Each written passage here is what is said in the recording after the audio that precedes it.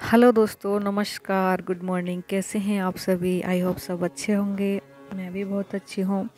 तो आज एक छोटी सी वीडियो जो घरेलू उपायों से ही संबंधित है, जो दादी नानियों के टोट के उपचार होते हैं, घर में ही रखी हुई चीज़ों से, वो मैं आपके साथ शेयर करूँगी। तो ध्यान से सुने, वीडियो अगर अच्छी लगे तो अपने फ्रेंड्स और फैमिली के साथ शेयर ज़रूर कर दें और अपना प्यार यूँ ही मेरे साथ बनाए रखिएगा।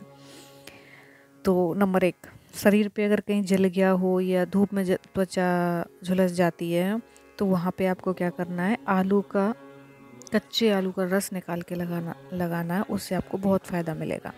नंबर दो छाछ में थोड़ा सा सोडा डालकर पीने से पेशाब की जलन या पेशाब से संबंधित जो भी परेशानियाँ होती हैं, वो ख़त्म हो जाती हैं। नंबर नेक्स्ट, नंबर तीन महिलाओं को पीरियड के दौरान होने वाले दर्द से अगर छुटकारा चाहिए तो नींबू के, नींबू का रस पानी में निचोड़ कर दो तीन बार पी लेने से आराम मिलता है। कई लोग कहते हैं कि नींबू ठंडा रहता है, लेकिन पीरियड के दौरान अगर नींबू का पानी इस तरीके से हम लेते हैं तो बड़ी राहत मिलती है। नंबर चार, मक्खन में थोड़ा सा केसर मिलाकर रोज़ाना लगाने से काले फटे होठ सुंदर और गुलाबी होने लगते हैं। नंबर चार मुँह की बदबू से परेशान हो तो दालचीनी का टुकड़ा मुँह में रख लेने से मुँह की बदबू तुरंत शांत हो जाती है। कई बार बच्चों में आ, नाक बहने की परेशानी होती है तो यूकेलिप्टिस जो सफ़ेदा होता है का तेल रूमाल में डालकर सूंघें उससे आराम मिलता है।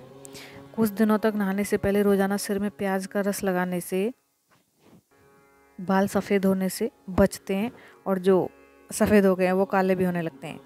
नंबर नेक्स्ट, चाय पत्ती के उबले हुए पानी से बाल धोएँ, इससे बाल कम गिरते हैं। बैंगन के भरते में शहद मिलाकर खाने से अनिद्रा रोग, जिनको नींद नहीं आती, उसका नाश होता है। ऐसा शाम को भोजन में भरता बनाते समय करें।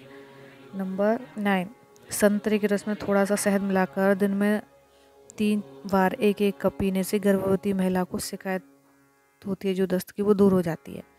Number ten. गले में खराश होने पर सुबह सुबह सौंफ चबाने से बंद गला खुल जाता है। नंबर एलेवन सवेरे भूखे पेट तीन चार अखरोट की गरिया निकाल कर खाने से, कुछ ही दिन खाने से घुटनों के दर्द में राहत मिलती है।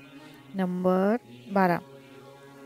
ताज़ा हरा धनिया मसल कर सूंघने से छींके आना बंद हो जाता है। नंबर नेक्स्ट, प्याज का रस लगाने से मस्सों के छोटे छोटे टुकड़े होकर जड़ से गिर जाते हैं। प्याज के रस में नींबू का रस मिलाकर पीने से उल्टी आना तत्काल बंद हो जाता है। गैस की तकलीफ़ से तुरंत राहत पाने के लिए लहसुन की कली छीलकर शहद और घी के साथ मिलाकर चबाने से फ़ौरन आराम मिलता है।